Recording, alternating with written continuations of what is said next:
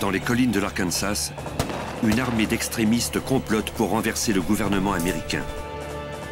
Ses membres prônent la haine et la mise à mort de tous ceux qui s'opposent à leurs idées. Ils commettent des attentats contre des églises et des synagogues. Ils posent des bombes dans des lieux publics et abattent un patrouilleur. Les agents doivent démanteler ce groupe radical tout en évitant un bain de sang.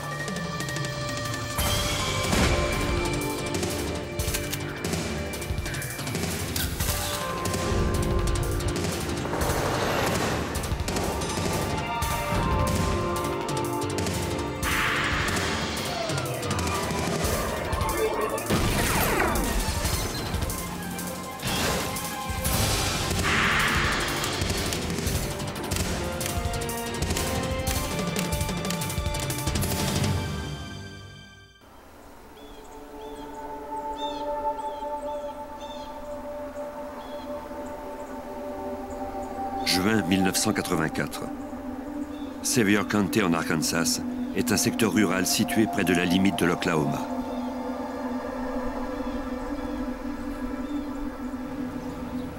Winona Bryant roulait sur l'autoroute 71, direction sud. Ce professeur d'une école secondaire de la région était en voiture avec ses enfants et son neveu. Elle devait rencontrer son mari, Louis Bryant, pour le repas du midi. Celui-ci était patrouilleur pour la police d'État de l'Arkansas sur ce secteur de l'autoroute. En route, Winona aperçut une voiture de patrouille sur l'accotement. Elle reconnut le numéro d'identification.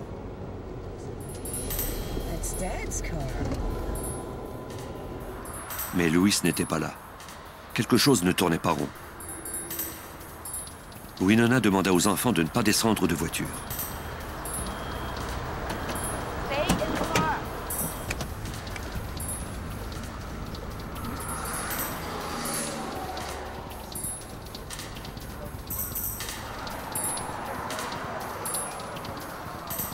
C'est alors qu'elle le vit. Il était couvert de sang.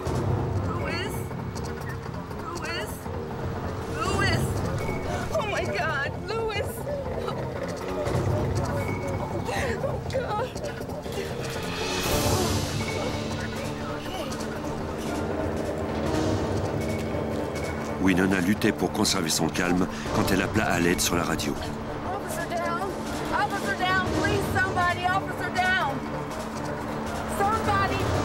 Elle dit à la répartitrice que Louis était inconscient. Apparemment, il avait été blessé par balle.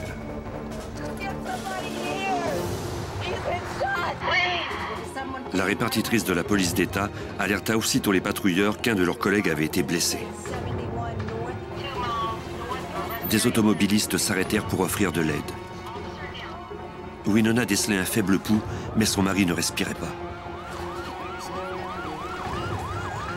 Elle lui administra les premiers soins en attendant l'arrivée des secours.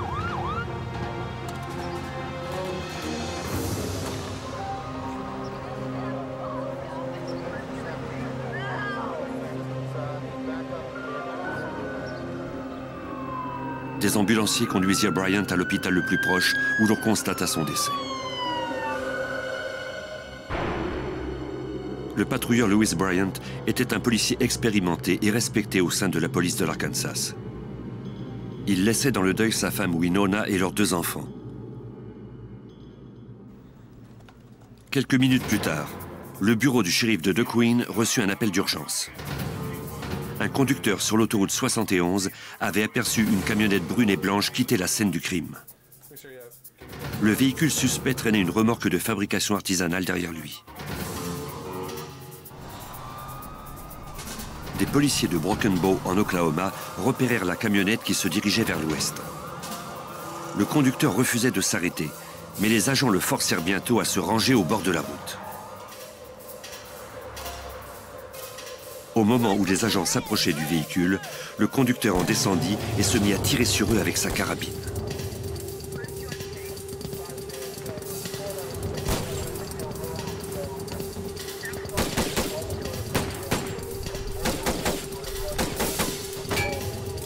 Les policiers ripostèrent, blessant le suspect à l'épaule. Celui-ci s'empara alors d'un pistolet de calibre 45 et il continua à tirer.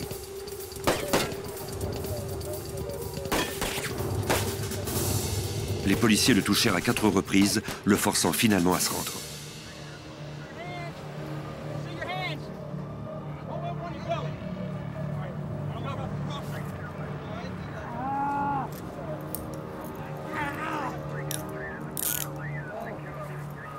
En fouillant le suspect, ils trouvèrent son permis de conduire. Il s'appelait Richard Wayne Snell. Il était originaire de Stephenville, au Texas. À l'hôpital, les policiers interrogèrent Snell. Celui-ci reconnut avoir abattu le patrouilleur. Il ajouta qu'il était recherché par la police au Texas et qu'il tentait d'échapper à son arrestation. Dès qu'il avait vu Bryant s'approcher de son véhicule, il avait ouvert le feu.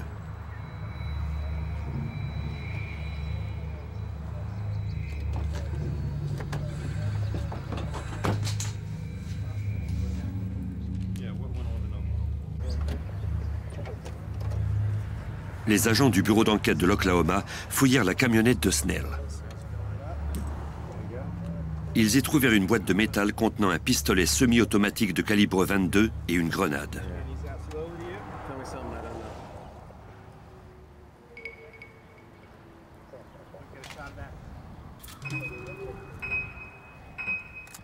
Ils découvrirent également des fils électriques suspects fixés sous la colonne de direction et menant à une sortie d'air conditionné. Ils craignaient que le véhicule ne soit piégé.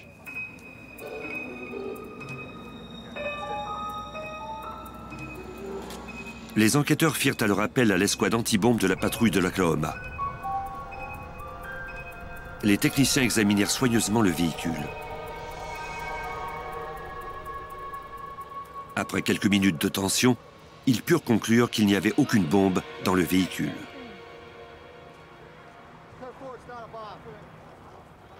Les enquêteurs poursuivirent les recherches. Ils trouvèrent plusieurs armes à feu, notamment une mitraillette Mac 10. Ils recueillirent également des dépliants imprimés par un groupe extrémiste se faisant appeler le CSA, pour Covenant, Sword et Harm of the Lord. Ce groupe militait en faveur du renversement du gouvernement américain. Dans ses dépliants, il prônait la mise à mort des agents du gouvernement et l'extermination des Juifs et des Noirs. Les policiers firent appel à l'agent Bill Buford de l'ATF. De concert avec d'autres agents du gouvernement fédéral, Buford tentait d'établir un dossier criminel contre le CSA depuis près de deux ans. En cherchant des indices, il fit une découverte troublante. Il y avait un porte-document dans la camionnette. Il contenait de nombreuses notes recueillies par ce type, de même que quelques plans. Alors j'ai constaté qu'il y avait un plan de ce qui semblait être ma propre maison, située sur la rue que j'habitais, avec les maisons voisines.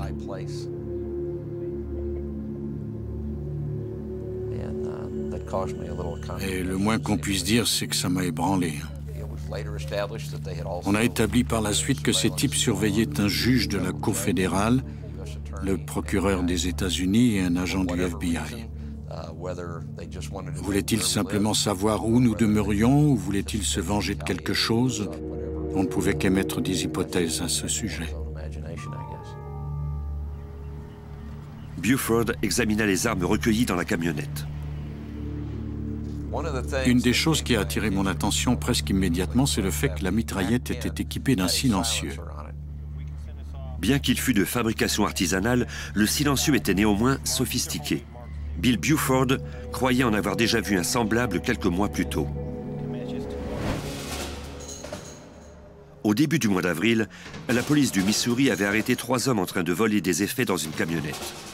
Ils avaient en leur possession trois pistolets semi-automatiques de calibre 45, un fusil de chasse au canon tronçonné et une mitraillette Mac 10 modifiée et équipée d'un silencieux. Selon un informateur, les trois voleurs étaient membres du CSA.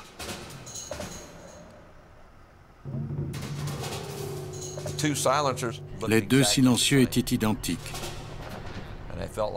Je me suis dit que si je prouvais qu'ils avaient été fabriqués par les mêmes types et qu'ils provenaient des installations du CSA, ça donnerait un coup de pouce à notre enquête. Cinq jours après la fusillade, soit le 5 juillet 1984, la dépouille du patrouilleur Louis Bryant fut mise en terre. Parmi les personnes venues lui rendre un dernier hommage se trouvait le gouverneur de l'État de l'époque, Bill Clinton, sa femme Hillary et plus d'un millier de policiers. Le gouverneur Clinton entendait donner la priorité à l'enquête sur les groupes extrémistes.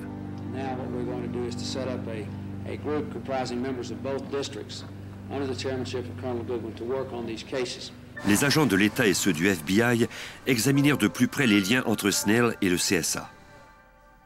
L'arme qui avait servi à abattre Bryant était un Colt Commander de calibre 45. On découvrit que cette arme avait été volée lors d'un hold-up suivi d'un homicide chez un prêteur sur gage de Texarkana en Arkansas 18 mois plus tôt.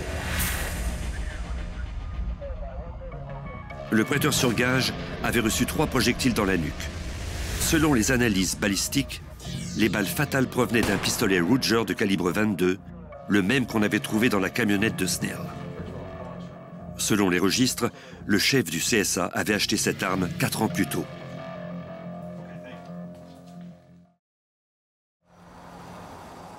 Les agents disposaient maintenant d'assez d'indices pour faire comparaître le chef du CSA devant le juge pour des accusations reliées à la possession d'armes à feu. Bill Buford se rendit à Mountain Home en Arkansas pour y remettre une assignation à comparaître au chef du CSA à sa propriété de 80 hectares. Selon des informateurs et des rapports de surveillance, les installations étaient lourdement fortifiées. On pouvait voir de nombreux bâtiments sur les photos. Les agents savaient que les chefs du CSA vivaient sur cette propriété avec 65 hommes, femmes et enfants. Mais on n'en savait guère davantage. Les agents de l'ATF avaient appris l'existence du CSA quelques années plus tôt. Ce groupe religieux était devenu avec le temps une organisation de droite très violente. À l'ATF, on a vraiment commencé à penser qu'il ne s'agissait pas simplement d'un groupe qui étudiait les Saintes Écritures, quand on a vu plusieurs autres groupes de droite venir sur les lieux pour recevoir de l'entraînement militaire. Selon des informateurs, des groupes extrémistes comme la Nation Arienne, le Posse Comitatus et le Order se rendaient fréquemment aux installations.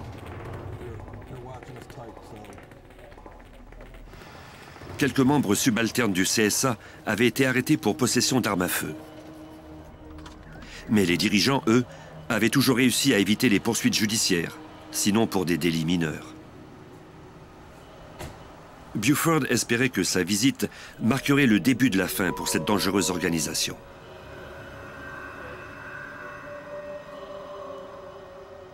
Il rencontra un homme à la grille d'entrée qui se présenta comme étant Kerry Noble, le commandant adjoint du groupe.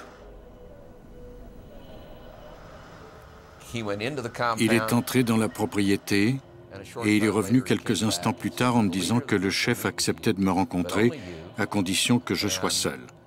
De plus, Noble devait me fouiller pour s'assurer que je n'avais pas de pistolet sur moi. Buford accepta de remettre son arme à un autre agent de l'ATF et de se faire fouiller. Il était conscient du risque qu'il courait à entrer seul sans arme à feu. Mais il n'avait guère le choix. Si l'un des agents sous ma supervision avait voulu le faire, je le lui aurais interdit. Mais à ce moment-là, ça semblait être la seule solution. Les enjeux étaient trop élevés et le groupe trop dangereux pour que Buford ne tente pas tout pour démontrer au chef du CSA que les agents fédéraux ne se laisseraient pas intimider.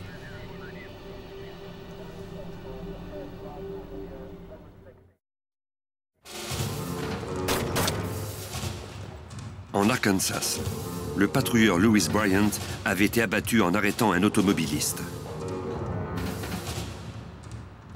certaines armes trouvées dans le véhicule du meurtrier indiquaient qu'il avait des liens avec un groupe d'extrême droite appelé le CSA.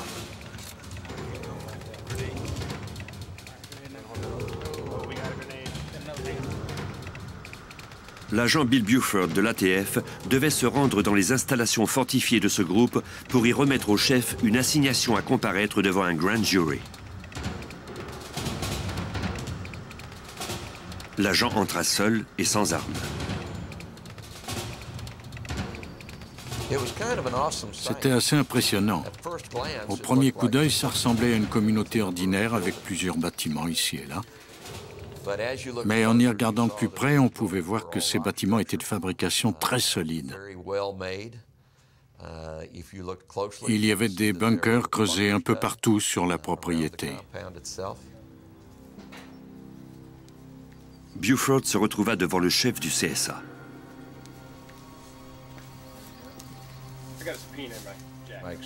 Je lui ai dit que je devais lui remettre une assignation à comparaître devant le grand jury de Muskogee, en Oklahoma, et qu'il aurait à se présenter à la date de convocation.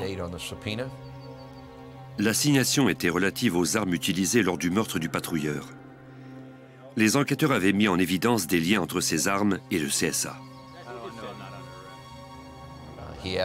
Il m'a demandé si on allait l'arrêter je l'ai assuré que ce n'était qu'une assignation à comparaître. Il ne faisait pas l'objet d'une arrestation. Le chef prit le document et demanda à ses hommes d'escorter Buford jusqu'à la sortie.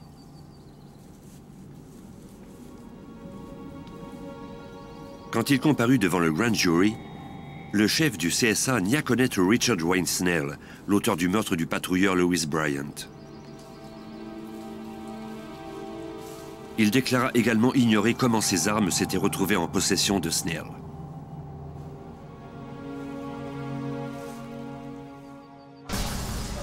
Le 1er novembre 1984, Richard Wayne Snell fut reconnu coupable du meurtre qualifié du patrouilleur Lewis Bryant. Il fut condamné à la prison à vie, sans possibilité de libération conditionnelle. Le même jour, Snell fut reconnu coupable du meurtre du prêteur sur gage de Texarkana, en Arkansas. Au cours de l'hiver 1985, le FBI, l'ATF et le bureau du procureur de l'Arkansas exercèrent encore davantage de pression sur le CSA. Selon un informateur de l'agent spécial Jack Knox du FBI, le CSA était mêlé à des actes de terrorisme intérieur.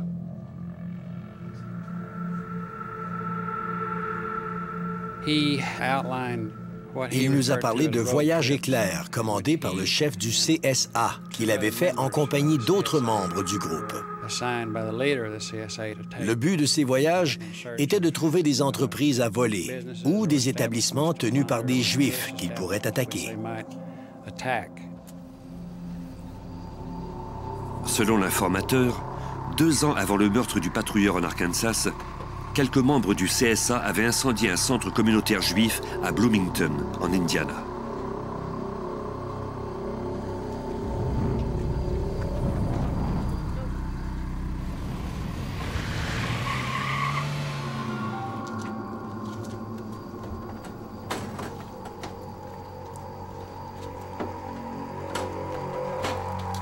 L'informateur affirmait qu'à peu près au même moment, le CSA avait posé une bombe incendiaire dans une église de Springfield au Missouri qui accueillait ouvertement les homosexuels.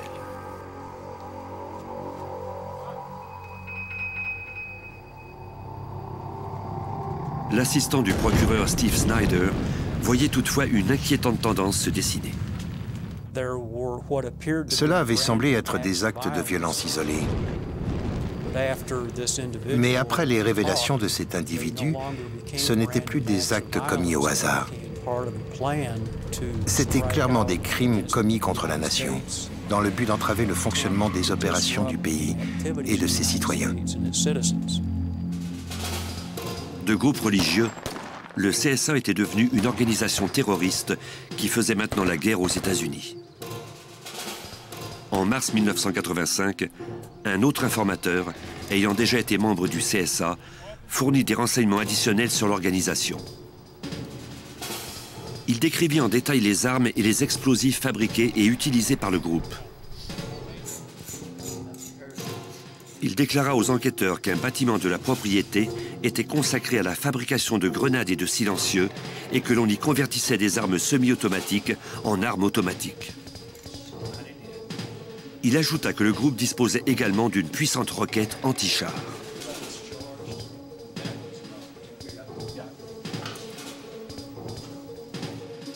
L'informateur affirmait que le CSA était en train de se construire un char d'assaut et qu'il avait posé des mines un peu partout sur la propriété. Il fournit aussi une liste des crimes commis par le groupe dans plusieurs États, notamment le transport de véhicules volés, la fraude postale et le vol de biens appartenant au gouvernement. Se basant sur ces déclarations, le procureur fit la demande d'un mandat de perquisition de la propriété du CSA pour y chercher des armes illégales et des explosifs l'assistant du procureur Snyder espérait faire accuser le groupe de manœuvres frauduleuses contre le gouvernement fédéral en vertu de la loi RICO. Selon cette loi, les autorités peuvent arrêter et accuser les chefs d'organisations criminelles en se basant sur leurs activités illégales. La loi RICO prévoit une peine de réclusion maximale de 20 ans pour ce type de crime, contrairement aux violations des lois sur les armes qui entraînent des sanctions moins sévères. Pour nous, ce crime était très grave. Uh, Pour réduire les risques d'une confrontation violente, le FBI fit appel à l'HRT, ou HURT, l'équipe de libération des otages mise sur pied depuis peu pour exécuter les mandats. L'URT avait été créé en 1982 pour contrer le terrorisme intérieur et international. En 1985, l'agent spécial Danny Colson était le commandant de l'unité. Les membres du HURT sont formés pour neutraliser les terroristes et libérer les otages. Cette situation-ci était toutefois différente. Ces individus étaient lourdement armés et nous voulions éviter une confrontation. Colson établit un poste de commandement dans les environs, soit à Branson, au Missouri. L'URT est composé de deux unités d'élite. On disposait d'une équipe de tireurs d'élite et d'une équipe responsable des opérations. Les tireurs devaient recueillir des informations afin de protéger l'autre équipe. La majeure partie de nos hommes faisait d'ailleurs partie de ce dernier groupe. L'agent Buford, qui était allé sur la propriété, décrivit les lieux à Coulson. La route d'accès principale en gravier, la grille d'entrée et le bâtiment principal situé aux abords d'un plan d'eau artificiel. La phase numéro 1 de l'opération fut une mission de reconnaissance. On ne peut contrôler une situation de crise sans d'abord effectuer une mission de reconnaissance. On devait savoir de quoi les bâtiments avaient l'air, en connaître l'emplacement et déterminer la meilleure façon de s'en approcher le plus vite possible. Le soir suivant, Colson et son équipe seraient des intrus que le CSA n'avait pas invités le commandant Danny Colson donna ses ordres à l'équipe de reconnaissance avant qu'elle ne passe à l'action.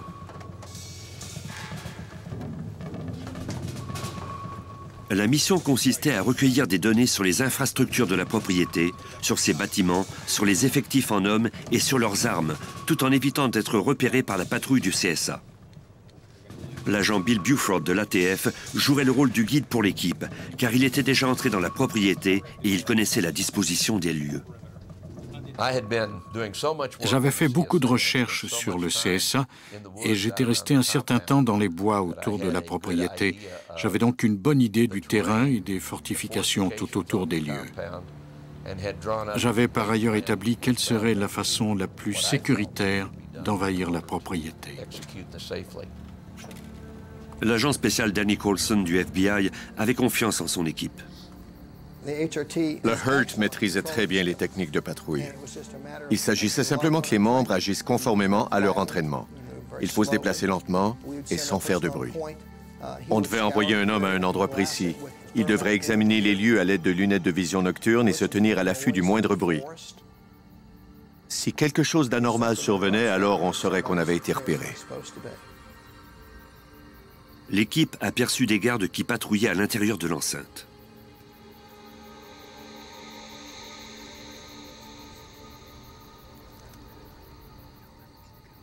Ceux-ci étaient armés de fusils d'assaut.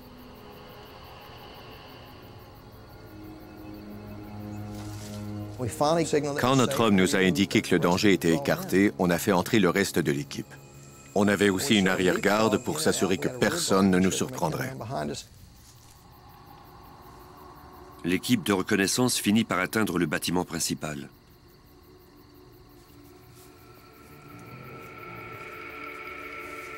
Les membres du CSA dormaient avec leurs familles dans certains des bâtiments.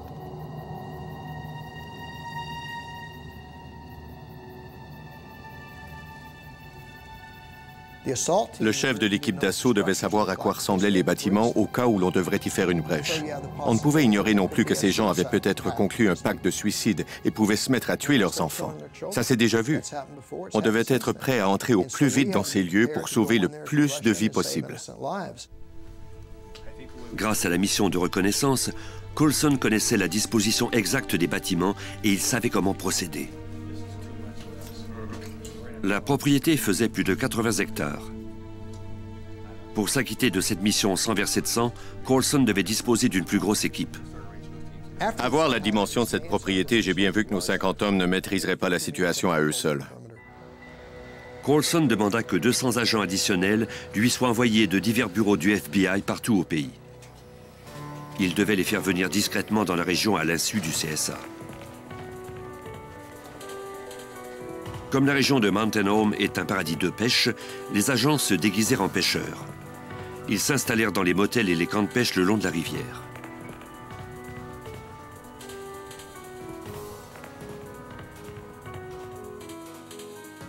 Le plan consistait à utiliser des embarcations de pêche pour s'approcher le plus vite possible de la propriété par l'endroit où elle était la plus vulnérable, c'est-à-dire par le lac. Pendant que les agents se préparaient à entrer dans la propriété, Coulson donna un briefing à l'agent spécial Clint Van Zandt, membre de l'équipe chargée de négocier la libération des otages. Il fut convenu de contenir les suspects, de les isoler et de négocier avec eux. Danny Coulson était l'homme de pointe pour les trois phases de l'opération. J'en suis rapidement venu à croire que le chef du CSA refuserait de s'adresser à un négociateur du FBI de moindre importance. Il voudrait négocier avec quelqu'un de même rang que lui au niveau stratégique. Dans ce cas-ci, cette personne était Danny Colson. Mais je n'étais pas à l'aise avec ça. Je suis une personne de l'équipe tactique. J'avais été tireur d'élite dans une unité SWAT et j'avais reçu un entraînement d'exécutant. Mais je n'avais jamais appris à négocier. Et j'ignorais si j'y parviendrais. J'aurais préféré arrêter ce type que de négocier une entente avec lui. Mais Van Zandt réussit à convaincre Colson qu'il était l'homme de la situation. J'avais assisté à plusieurs négociations, car chaque fois qu'on déploie une équipe, on envoie un négociateur. Clint Van Zandt m'a alors montré les rudiments des techniques et des stratégies de négociation. Après dix jours de reconnaissance et de planification, l'agent spécial Danny Colson et l'équipe de libération des otages du FBI étaient fin prêts.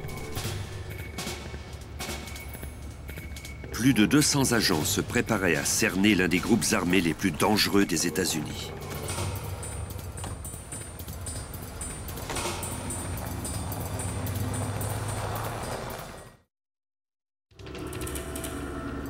En 1985, le FBI resserrait le filet autour du CSA, une organisation paramilitaire de l'Arkansas. Les membres de ce groupe étaient soupçonnés de plusieurs actes de terrorisme intérieur et de meurtre.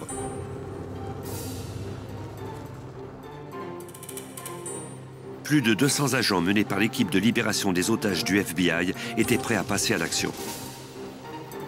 Des tireurs d'élite du Hurt et des agents spéciaux se déployèrent de l'autre côté du lac qui bordait la propriété. Leur mission Protéger les arrières des agents contre les forces ennemies.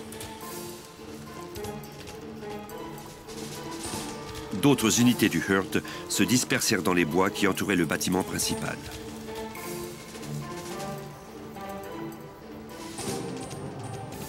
L'ATF, de même que la police d'État de l'Arkansas et la patrouille routière du Missouri, dressèrent des barrages routiers. Leur mission consistait à empêcher tout sympathisant du CSA d'entrer dans la propriété ou de la quitter. Dans les airs, un avion de surveillance du FBI sillonnait le ciel à une altitude de 15 000 mètres. Le système d'imagerie thermique à bord de l'avion décelait tout mouvement dans l'enceinte. L'agent spécial Danny Colson. On détectait le moindre mouvement au sol. On pouvait voir plusieurs petits groupes des membres du CSA un peu partout sur la propriété. On pouvait voir tous les animaux qui s'y trouvaient aussi, les chevreuils, les coyotes, les lapins qui détalaient. Ce qui me donnait un avantage énorme, car je pouvais me servir de cet avion pour m'aider à établir le périmètre. Ainsi, on pourrait déployer nos agents tout autour des postes d'écoute et des unités de patrouille. Colson menait les opérations à partir d'un poste de commandement mobile près de la grille d'entrée de la propriété. L'agent spécial Clint Van Zandt, négociateur du FBI pour la libération d'otages, conseillait Colson. Il était plus prudent de nous installer pendant la nuit et d'attendre qu'ils se réveillent le lendemain matin et découvrent que nous les avions cernés à leur insu. On aurait pu prendre la propriété d'assaut, mais on s'y est refusé. On préférait régler cette affaire pacifiquement. Les tireurs d'élite surveillaient l'enceinte de quelques points à l'intérieur et près de la grille d'entrée.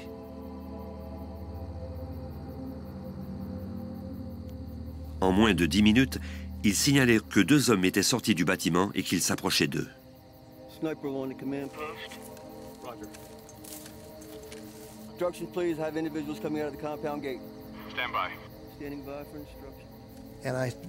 Il m'a dit que les types ne les avaient pas encore vus. Le tireur d'élite indiqua à Colson que l'un des hommes avait un fusil d'assaut, l'autre était armé d'un pistolet. Colson ordonna à ses hommes d'affronter les gardes du CSA. Je leur ai dit de crier qu'ils étaient des agents du FBI et de leur ordonner de retourner dans le bâtiment. Cela envoyait un message très clair à ces hommes. On aurait pu vous abattre, mais on a préféré ne pas le faire. Nos effectifs ici sont nombreux, mais nous ne souhaitons pas d'affrontement.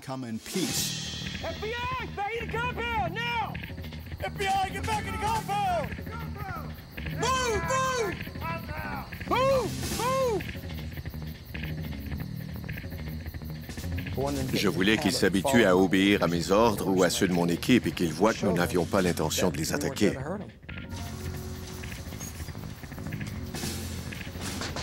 Nos agents de l'unité tactique nous ont indiqué qu'il y avait de la lumière et de l'activité dans le bâtiment.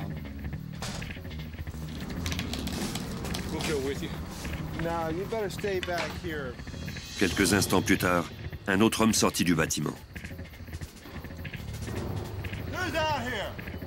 J'ai ordonné à nos deux agents de le laisser s'approcher car je voulais qu'ils l'arrêtent.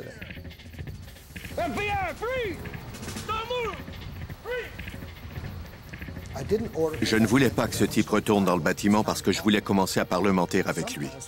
C'était le temps d'avoir des pourparlers. Et parfois, le plus difficile, c'est de trouver quelqu'un avec qui parler. On n'y parvient pas toujours. L'homme s'identifia. Il s'appelait Kerry Noble. Il était le commandant adjoint du CSA. Je lui ai dit qu'on devait négocier pour résoudre cette affaire sans effusion de sang. On n'était pas là pour leur faire de mal, mais on allait les empêcher de quitter les lieux. S'ils nous faisaient la guerre, on allait y mettre un terme. Noble dit alors qu'il allait transmettre à son chef la demande du FBI pour le rencontrer.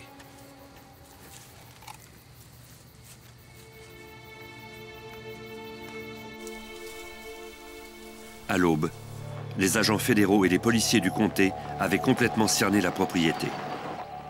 Les médias eurent alors vent de l'affaire et des journalistes affluèrent par les routes d'accès. Les agents installèrent une ligne téléphonique directe entre le bâtiment principal et le poste de commandement. Peu de temps après, l'agent Colson reçut un appel. Le téléphoniste m'a alors appelé et m'a dit « c'est lui ». Et c'était bien le chef. Je lui ai pratiquement répété mot pour mot ce que j'avais dit à son adjoint. Nous sommes du FBI, je m'appelle Danny Colson et nous avons un mandat d'arrêt contre vous. Le chef du CSA accepta de sortir et de négocier à une condition, qu'on ne procède pas à son arrestation. Sans quoi, il donnerait l'ordre à ses hommes d'ouvrir le combat. Colson accepta. Van Zandt prépara Colson pour la rencontre. À titre d'expert en sciences comportementales, Van Zandt croyait fermement que le chef du CSA n'accepterait d'obéir qu'à un autre commandant. À titre de commandant militaire, lui ai-je dit, vous ne devriez pas aller à ce genre de rencontre avec un fusil ou une carabine, mais avec un pistolet de calibre 9. Ce serait conforme à ce qu'il s'attend de vous. Ainsi, il sera plus ouvert au dialogue et à la négociation. Colson s'approcha de la grille d'entrée. Il faut toujours que ce soit clair que c'est vous qui commandez, mais en même temps, il faut que vous l'ameniez à parler.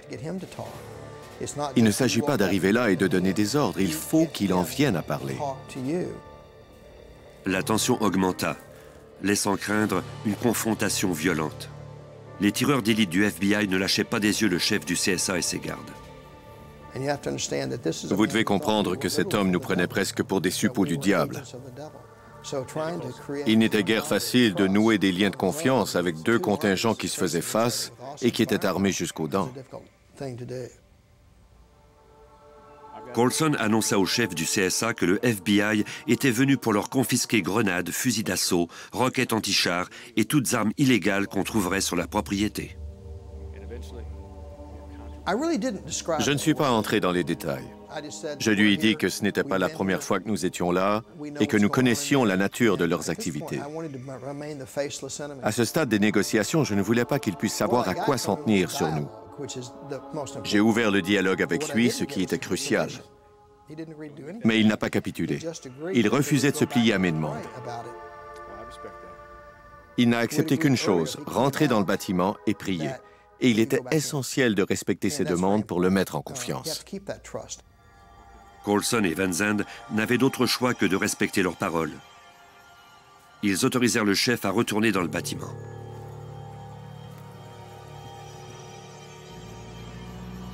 Le premier jour du siège se déroula sans incident, mais sans qu'on soit parvenu à s'entendre non plus. Le deuxième jour, le commandant du CSA demanda à rencontrer les agents de nouveau. Cette fois, il portait sa tenue de combat.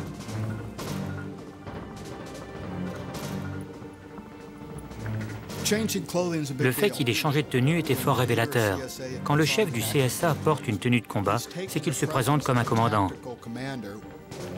Le chef du CSA annonça alors à Colson que certains membres à l'intérieur étaient prêts à lancer l'assaut et à s'enfuir. J'avais pratiquement épuisé tout ce qui me restait de patience. Et je lui ai dit, contre qui comptez-vous vous battre? Vous ne nous avez même pas vus. Vous ne savez pas où nous sommes. Nous allons vous assaillir de toutes parts si vous sortez de l'enceinte avec des armes. Sur qui allez-vous tirer? Et comment allez-vous vous y prendre? Ce sera comme se battre contre des fantômes et vous ne saurez même pas qui vous assaille. Vous devez vous rendre. Le chef du CSA confia à Colson qu'il était prêt à se rendre, mais que certains membres du groupe échappaient à son contrôle. Et il m'a dit qu'il avait besoin d'aide. Il a ajouté, Nous avons un guide spirituel. J'ai besoin de son aide pour convaincre les membres de se rendre. Je lui ai alors demandé comment s'appelle-t-il. Il m'a répondu, Robert Miller. Robert Miller était bien connu dans le monde secret des groupes d'extrême droite. La demande était inusitée, mais pour Van Zandt, cela représentait un tournant décisif dans les négociations. À partir de ce moment, la situation allait soit se conclure dans un échange de coups de feu, soit par une relation de confiance. On ne savait rien de l'issue de cette affaire. Pour Colson, c'était l'heure de vérité. Si l'ennemi ouvrait le feu, nul ne savait comment l'affrontement se terminerait.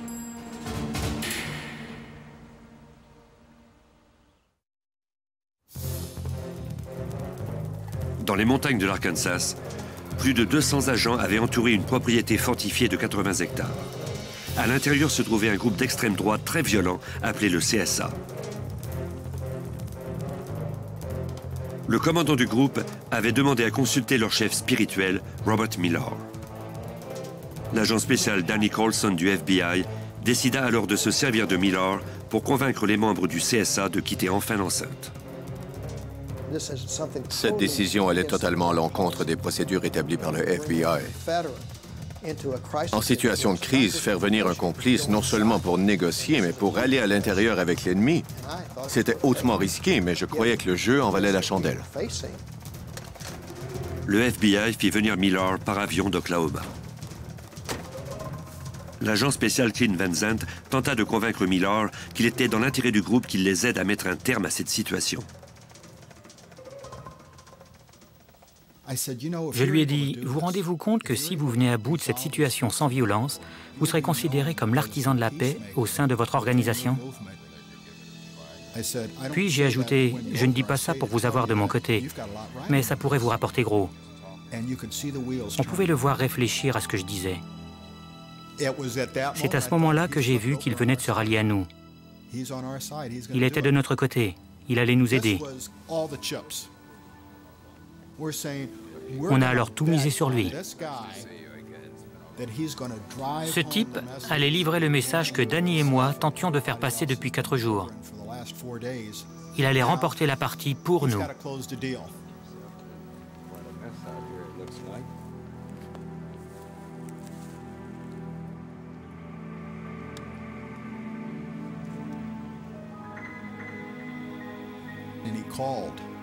Miller nous a appelés et nous a dit qu'il était en train de leur parler, mais que rien n'était encore conclu. J'ai dit d'accord, on vous donne encore une heure. On n'avait aucun contrôle sur lui. Que pouvait-on faire? Entrer de force, le saisir par le cou et le sortir de cet endroit où se trouvaient 50 types armés? On devait donc être très prudent pour ne pas montrer qu'on était sûr de rien. On ne pouvait laisser les membres croire une seule seconde qu'on était vulnérable. On lui a donc dit qu'il devait absolument sortir de là dans une heure au maximum. Il nous a rappelé au bout d'une heure pour nous dire qu'il avait encore besoin de temps. Il pensait pouvoir arriver à ses fins. Il a dit que les membres avaient commencé à faire un bout de chemin, mais qu'il avait encore besoin d'un peu de temps. On a décidé de le laisser passer la nuit dans la propriété.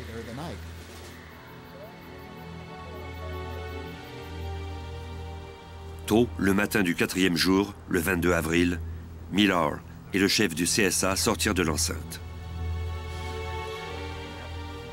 Pour la première fois, aucun garde armé n'accompagnait le chef du CSA. Ils sont sortis et nous ont dit qu'ils acceptaient de se rendre. Ils sortiraient de la propriété, donneraient leurs armes et se rendraient pacifiquement. Colson prit cette nouvelle avec un certain scepticisme. Je leur ai répondu que c'était la bonne décision, mais que j'espérais qu'il ne s'agissait pas d'une ruse, parce que si c'était le cas, aucun membre n'aurait la vie sauve. Mieux valait pour eux qu'ils se rendent sans histoire. Colson donna au chef 15 minutes, le temps qu'il réunisse les membres du CSA et les fasse sortir.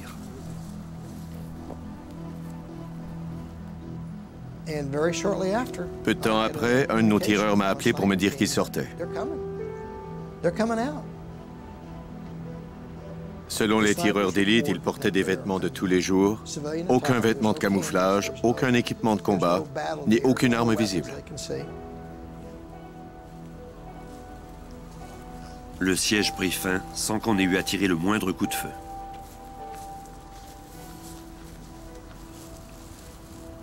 C'était la conclusion qu'on espérait et on a eu la chance de la voir se concrétiser.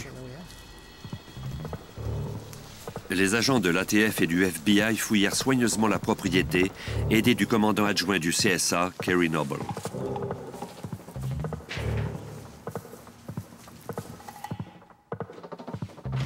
Au cours des jours suivants, ils recueillirent des centaines d'armes automatiques, de grenades artisanales et de mines terrestres, en plus de détonateurs et d'explosifs plastiques.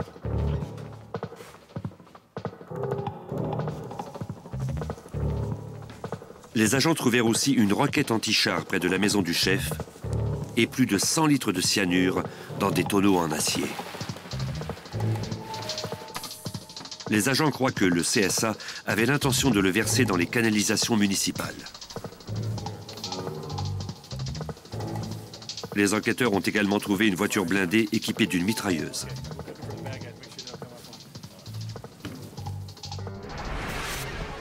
À l'issue de son procès, le chef du CSA a été condamné à 20 ans d'emprisonnement pour avoir contrevenu à la loi RICO.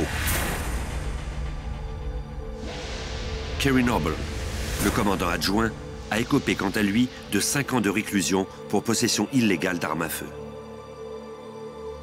Aujourd'hui, il donne des conférences sur les dangers que représentent les groupes extrémistes religieux. Richard Wayne Snell, qui était déjà écroué à vie pour le meurtre du patrouilleur Louis Bryan de l'Arkansas, a été reconnu coupable du meurtre du prêteur sur cage. Il a été condamné à mort. Le 19 avril 1995, à 21h16, Snell a été exécuté par injection létale. Aujourd'hui, la propriété du CSA n'est heureusement qu'un ramassis de cabanes abandonnées et de ruines.